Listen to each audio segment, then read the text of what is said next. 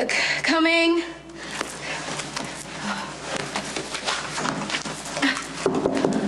Coming, coming, coming. Sorry.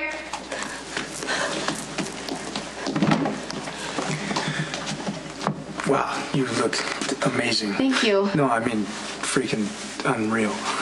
Thank you. Um, what are you doing here? Well, I was hoping you might feel like broadening my admittedly limited horizons, exposing me to a little culture, and hope it sticks. The, the Pro Art Gallery thingy, I'd like to take you. Oh, I get it. You need an alibi.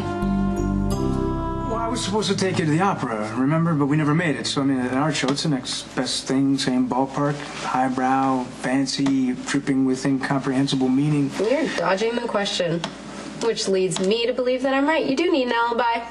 But you are an undercover cop, so you actually wouldn't need an alibi, that is. You would just tell your fellow detectives the truth about whatever happened, because something happened, right? And that leads me to my next question. Why involve me, your perfect little innocent citizen, unless that's part of your undercover cover? To use me as an alibi, because if you weren't a cop and you really were the mobster that you pretend to be, then you really would need one. Do you, uh, get a headache from doing all this overthinking? I heard sirens an hour ago. Admit it, you were involved in something. Okay, that was the uh, four-alarm blaze burning in my heart. Thank God you're here. I, I really need you. Oh no, what happened? Nothing yet, but disaster is looming. Franco is here, and he's seriously good looking, but very weird. We- weird how? Well, Uh, come see for yourself. There's safety in numbers. Are you freaking out? No, no, everything's under control. Let's go. I'll, uh, I'll come too, okay? On second thought, he doesn't like to be crowded, so maybe I should just go by myself.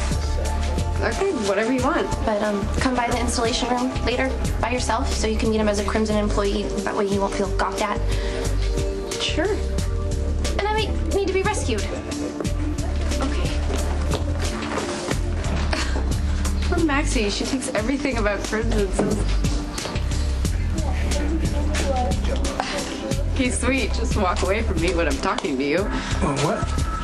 Oh, I'm sorry. I just it's art. It's kind of crazy, don't you think?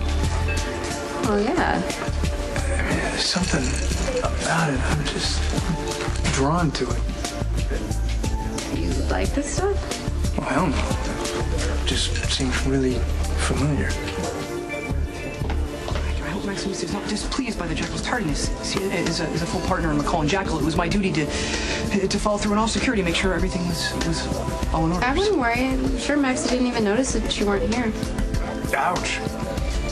No, I didn't mean I, that came out wrong. No, no, no, no, no. What, what, what I mean is that Maxie has her hands full. She pulled Franco duty, which is like celebrity babysitting. She has to make sure all the red M&Ms are all perfect and precise. Well, actually, I am most admiring of the off-putting painter's work. It's, it's original, and darkly explosive. Am I missing something here? Um, I mean, like, look at that one. I mean, I know that's supposed to have some kind of profound meaning, but doesn't it just look like graffiti? Hey, we have to go. Wait, no, no, I, I still haven't found Miss Misa and McCall We and have to go right now. Does not bode well.